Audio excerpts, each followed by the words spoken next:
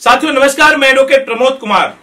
आपके बीच फिर देश के और देश में हो रहे घटित घटनाओं डूबती हुई अर्थव्यवस्थाएँ और यस बैंक जैसी बड़ी एक प्राइवेट सेक्टर की कम, बैंकिंग कंपनी को डूबते हुए मुद्दों पर और दो चार दिनों में एसबीआई भी डूबने के कगार पर है वो भी खबरें आपके बीच आएगी लेकिन गोदी मीडिया इसको दिखा नहीं रही है। इन तमाम हालातों पर आपसे मैं रूबरू हूँ। कि देश की तमाम जो बैंकिंग इंडस्ट्री है, वो डाउनफॉल में है और इसके लिए गुनागार, जिम्मेदार सिर्फ़ मोदी अमित शाह जी हैं। देश में जितने भी जो सत्तर सालों में अर्जित हुई हमारी व्यवस्थाएँ थी, अर्थव्यवस्थाएँ थी, कंपनी थी अंडरटेकिंग थी और तमाम इस देश के धरोहर थे, उसको बारी बारी से बेच दिया जा रहा है।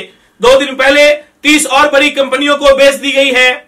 यह आपको शायद पता होगा या नहीं होगा, लेकिन मैं आपको अलग अलग प्रतिबद्धताओं के सुन रहे तमाम साथियों को कहना चाह रहा हूँ कि तीस कंपनियाँ और बिक गई है और अब एक महीने में पचास हज़ार, यानी जो प्रतिदिन आप पाँच लाख रुपए निकाल सकते थे, अब आप पचास हज़ार एक महीने में निकालने की जो है सीमा तय कर दी गई है आरबीआई के द्वारा।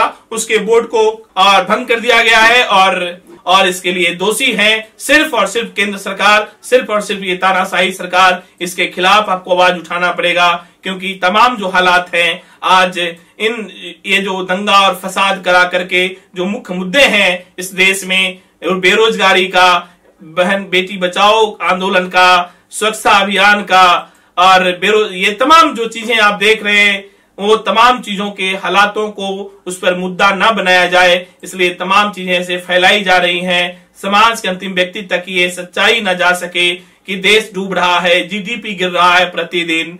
और अब ऐसा कुछ भी बचा नहीं है जिसको सरकार बेच पाए तो इसे भटकाने के लिए तमाम चीज़ों को आपको कभी कोरोना वायरस पर केंद्रित करने की कोशिश की जा रही है। कभी दंगा फसाद कराया जा रहा है, कभी कुछ कभी कुछ। इसे आपको समझना पड़ेगा साथियों। मैं आप तमाम साथियों से आग्रह करूँगा ये जो है, जाने माने पत्रकार रहे पुण्य प्रसन्न वाजपेयी जी, आप इनके पूरे अवलोकन को सुने। बहुत विस्तृत से ये बताएँगे कि आज हमारे देश की जो बैंकिंग सेक्टर की कंपनी है, उसके क्या हालात हैं, किन परिस्थितियों में ये एस बैंक डूबा है अब यस बैंक नो बैंक हो चुका है, एसबीआई डूबने के कगार पर है, और किन किन बैंकों को बेचा गया है, कितनों पर एनपीए जो है माफ़ किया गया है, या एनपीए घोषित कर दी गई, ये तमाम जो है विश्लेषण आप जाने माने पत्रकार पुण्य प्रसन्न वाजपेयी जी से सुने, वो आपको विस्तार से बता रहे हैं। बैंकों से लोन लेकर खुद को दिवालिया घोषित कराने के लिए एक मॉडल क्रिएट किया गया नेशनल कंपनी लॉ ट्रिब्यूनल, उसमें जैसे आपने 10 करोड़ रुपया लोन लिया, आपने कहा अब हमसे नहीं चलेगा। तो उस देखा गया दस करोड़ में से, देखा गया क्या संपत्ति आखिर में कुल मिला के, आपने मान लीजिए उसमें से आठ करोड़ रुपए खा लिए। दो करोड़ बचे, दो करोड़ में से किसी तरह सेटलमेंट करके उस पर ठप्पा लगा दिया, उसको कागज़ी दे दिया, आपको दस्तावेज़ दे दिए गए, ये लीजिए सरकार का सर्टिफिकेट अब आप पाक साफ़ हो गए। तो आठ करोड़ आप खा गए दस करोड़ में से। यह स्थिति तमाम बैंकों से लिए गए और ये करोड़ों में नहीं है, अरबों में है। लिस्ट जरा समझने की कोशिश कीजिए वीडियोकॉन उनतीस हज़ार करोड़ रुपया लोन ये एसबीआई से डिफॉल्टर हुए हैं। जयप्रकाश एसोसिएट यानी जेपी इंफ्रास्ट्रक्चर बाईस हज़ार करोड़। आईवीआरएलसीएल, दस हज़ार एक सौ सात करोड़। रुचि सोया, चार हज़ार पाँच सौ तेरह करोड़। उत्तम गलवा स्टील, चार हज़ार एक सौ पचास करोड़। सोमा इंटरप्राइजेस, एक हज़ार आठ सौ पंचानवे करोड़। एशिया कलर कोटेड स्पा, तीन हज़ार उन्नीस crore. Ballarpur industry 6000 crore. S R steel, सैंतीस हज़ार दो सौ चौरासी करोड़। भूषण पावर स्टील, सैंतीस हज़ार दो सौ अड़तालीस करोड़। एमटेक ऑटो, चौदह हज़ार करोड़। मोनेटिक इस्पात एनर्जी, बारह हज़ार एक सौ पंद्रह करोड़। ये सारे डॉक्यूमेंट्स हैं। इलेक्ट्रो स्टील लिमिटेड, दस हज़ार दो सौ तिहत्तर करोड़। एरा इंफ्रा इंजीनियरिंग, दस हज़ार पैंसठ करोड़। एबीजी शिपयार्ड, छह हज़ार नौ सौ तिरपन crore. Jyoti structure power transmission से जुड़ा है, पाँच हज़ार एक सौ पैंसठ करोड़। ये क्या लिस्ट हम पढ़ रहे हैं? ये लिस्ट इसलिए पढ़ रहे हैं क्योंकि इनका जो सेटलमेंट होगा, उस सेटलमेंट में इन्होंने बैंक से जो पैसा लिया है, उसमें बड़ा हिस्सा वो रईसी पर उड़ा चुके होंगे। कोई देखने वाला नहीं है क्योंकि दो केसेस हमारे सामने आए एक केस तो बहुत साफ़ था जिसका ज़िक्र हमने बहुत हल्के तरीके से पिछली बार किया था। ये आलोक इंडस्ट्री का ज़िक्र था, बड़ा महत्वपूर्ण है। आलोक इंडस्ट्रीज़ ने बाईस हज़ार पचहत्तर करोड़ का इस पे डिफॉल्टर के तौर पर है और रिलायंस ने इसका सैंतीस परसेंट इक्विटी ये पाँच हज़ार रुपए में, पाँच हज़ार करोड़ में खरीद ली है। महत्वपूर्ण ये नहीं है, महत्वपूर्ण है कि एसबीआई ने मांगा पैसा आलोक इंडस्ट्री से और कहा हमें बाईस हज़ार करोड़ रुपया वापस कीजिए। वो झटके में आ गया। हमने तो लोन लिया, अभी कैसे वापस कर दें? उस समय एसबीआई को संभालने वाली महिला हुआ करती थी भट्टाचार्य थी कोई। वो उस समय संभाल रही थी और उन्होंने जब मांग की तो उसके बाद उसके हाथ पाँव फूल गए और ये पूरा मामला चला गया नेशनल कंपनी लॉ ट्रिब्यूनल में। अब वहाँ पर रिलायंस ने वहाँ अपने आप को रखा और कुल मिला के बाईस हज़ार करोड़ रुपए जिसके ऊपर लोन है, उस पूरी कंपनी की जो बोली सामने आई, वो तेरह हज़ार करोड़ में सामने आई। महत्वपूर्ण यह भी नहीं है। महत्वपूर्ण यह है कि उस समय जो चेयरमैन एसबीआई की थी, वो आज की तारीख में स्पेशल डायरेक्टर के तौर पर रिलायंस के साथ है। और रिलायंस क्या प्रवोक कर रहा था, उस समय नहीं कर रहा था, ये अलग मसला है, लेकिन एक ये नया तरीका निकल कर आया कि इस देश के भीतर के जो सरकार के कुछ अनुकूल कॉरपोरेट्स होंगे उनके लिए बैंक काम करेंगे।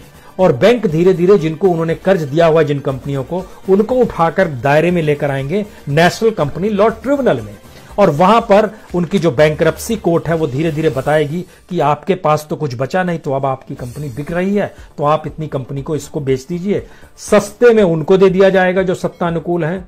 बैंक उसमें बीच का काम कर रहा है, और धीरे धीरे कुछ पैसा आप लेकर उड़ जाएँगे। ये एक प्रोसेस है, मीडिया क्यों नहीं बताएगा? मीडिया इसलिए नहीं बताएगा क्योंकि वह उसकी ट्रेनिंग खत्म हो गई है, उस रिपोर्टिंग की। एक दूसरा मामला लैंको का आया है। लैंको इंफ्राटेक लिमिटेड जो है इसमें चौवालीस हज़ार तीन सौ चौसठ करोड़।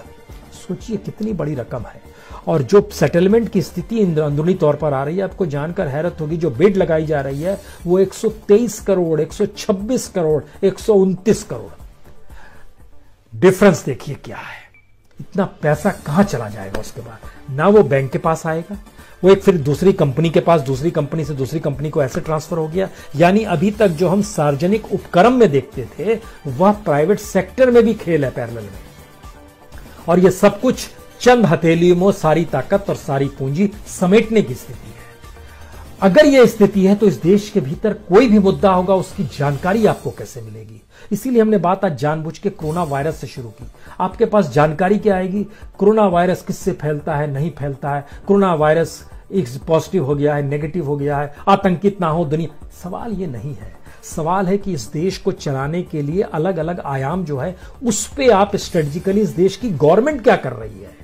और उस गवर्नमेंट की सोच क्या कहती है? क्योंकि जब आप इतने मुद्दों से लगातार जूझ रहे हैं तो आपको मौका मिलेगा ही नहीं कि आप ये बात का ज़िक्र करें, हम तो देश जोड़ने वाले हैं, वह देश तोड़ने वाले हैं। हमने कहा, वंदे मात्रा उन्होंने कुछ, क्या स्थिति है? इसीलिए जब आप इस क्रोनोलॉजी को समझते हैं तो इसके बेसिक एस्पेक्ट के भीतर आपको तीन चीज़ें नज़र आएँगी। पहली चीज़, अगर लोकतंत्र नहीं है तो फोर्थ स्टेट की भूमिका बड़ी हो जाती है, जो गायब नहीं होनी चाहिए। दूसरी स्थिति। अगर फोर्थ स्टेट सक्रिय हो जाएगा तो उस, वह खुद ब खुद लोकतंत्र के उन पायों को भी ज़िंदा कर देगा, जिसमें सुप्रीम कोर्ट भी होगा, जिसमें संसद भी होगी।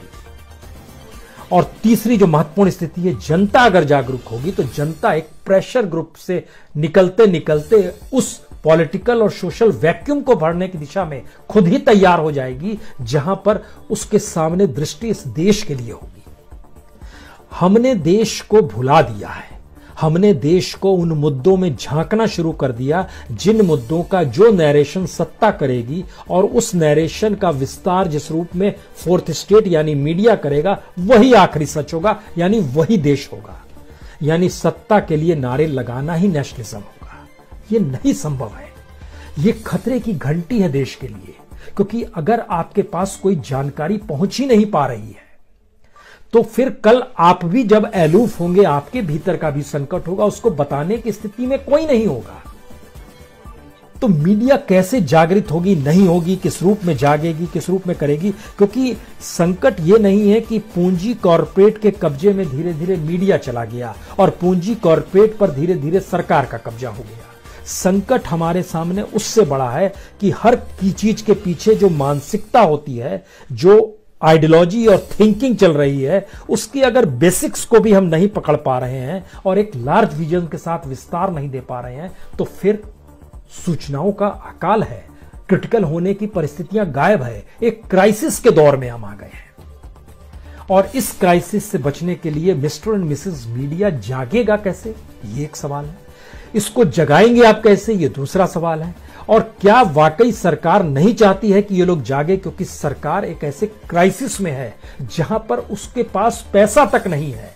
स्थिति ये आ गई है कि जो सिंह कमेटी की रिपोर्ट आई है, वो कह रही है कि अब रिटायरमेंट एज अट्ठावन साल कीजिए। उसके पीछे वजह यह नहीं है कि साठ साल से अंठावन साल करेंगे तो कितनों की न... सवाल यह है, सरकार समझ रही है कि ऑप्शन नहीं बच रहा। पंजाब में तो लागू कर दिया गया अंठावन साल रिटायरमेंट एज तो इन दो सालों में काम करने वाले जो भी लोग होंगे, ज़ाहिर है वो अपने कैरियर के सबसे पिक पर होंगे। उनके पेमेंट मैक्सिमम होंगे। तो ऐसी स्थिति हम जब रोज़गार पैदा नहीं कर पा रहे हैं तो आर्टिफिशियल तरीके से ही रोज़गार पैदा करें। कुछ लोगों को निकालें, कुछ नए लोगों को रखें। वहाँ पर अगर दो लाख मिलता था जो रिटायर हो रहा है तो यहाँ कम से कम पचास पचास हज़ार के चार लोग को तो रख लेंगे। तो कुछ इधर बढ़ जाएगा ये स्थिति आ गई। दूसरी पैरल में स्थिति आ गई। इस देश के भीतर में अनऑर्गेनाइज सेक्टर में भी जो लोग काम कर रहे थे, उनको भी किसी तरीके से ईसीआई के साथ जोड़ा जाए। यानी डाटा कलेक्शन में उनको जोड़ दिया जाए और ये बताया जाए कि हमने इतना रोज़गार दे दिया है। क्योंकि जब पूरा डाटा के साथ खिलवाड़ है तो आप समझने की कोशिश कीजिए जीडीपी 4.7 परसेंट कैसे हो गई। यानी 0.2 परसेंट बढ़ गई। जबकि इसी दौर में ध्यान दीजिएगा तो हर चीज़ नीचे है। ऑटो सेक्टर इस दौर में और 12 परसेंट नीचे चला गया। हमारी महँगाई और ऊपर चली गई। हम जिन परिस्थितियों में जी रहे हैं, कोई भी सेक्टर उठा लीजिए, आपको कोई सेक्टर नज़र नहीं आएगा, जो कि डेवलप हो रहा हो। चाहे वो मैन्युफैक्चरिंग का सेक्टर क्यों ना हो। अगर ये स्थिति है तो इसका मतलब है इसकी जानकारी देगा कौन? और यही जानकारी दरअसल आप तक नहीं पहुँच पा रही है।